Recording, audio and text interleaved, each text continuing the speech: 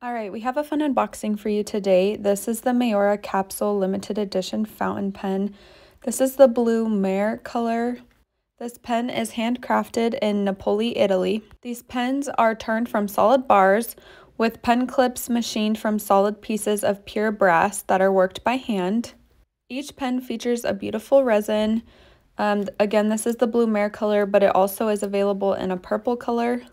Each is fitted with a 14 karat gold Jowo nib that's made in Germany and it's engraved with the Maiora logo. Each of the pens come with a bottle of Maiora ink to match what color pen. So if you get the blue Mare pen, you'll get a blue bottle of ink. And if you get the purple pen, you'll get a purple bottle of ink with the pen.